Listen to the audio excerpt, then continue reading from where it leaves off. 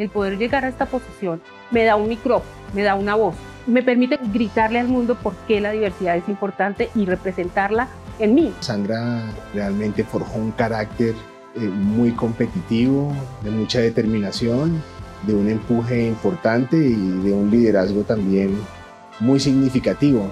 Creo que no hay una gran transformación de la industria de tecnología en Colombia, de la que Sandra, en cuanto a lo que tiene que ver con HP, no haya hecho parte. Mi familia ha sido determinante no solamente mi formación como profesional, sino también en el ejercicio de mis funciones.